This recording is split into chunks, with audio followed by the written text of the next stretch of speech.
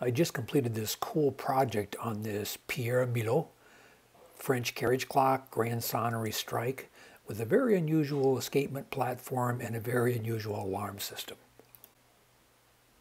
Here's a quick view of the finished product. 360 all the way around and then you can hear what the uh, bell strike sounds like. The dial surrounding this clock was black when I started. Uh, I was amazed when I cleaned it that the original silvering was underneath. It's beautiful.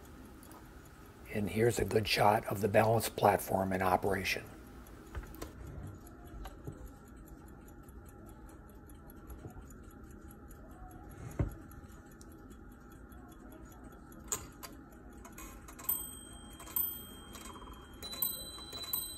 Here's some pictures of the movement apart after everything was cleaned up.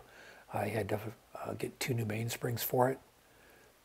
I believe I put uh, eight or ten bushings in it and ended up rebluing 31 screws, not to mentioning straightening springs and everything else that had to be done to get the clock back into good working order.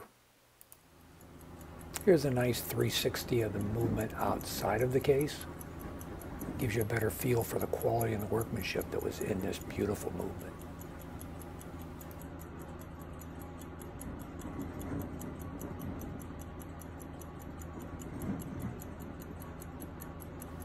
And here's a little bit better shot of the platform uh, without the uh, glass and the case interfering.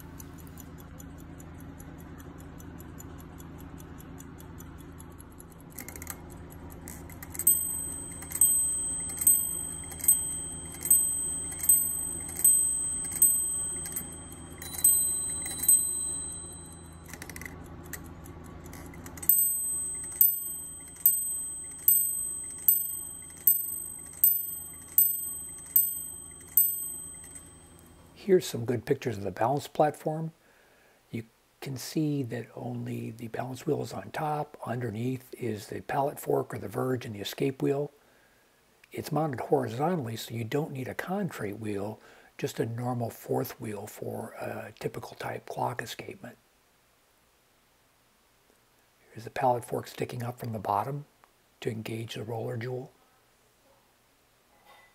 Again, strange setup and there's the shot of the drive wheel for the balance platform itself. Platform came out beautiful, 18,000 beats per hour, and the error was only one millisecond. Fantastic.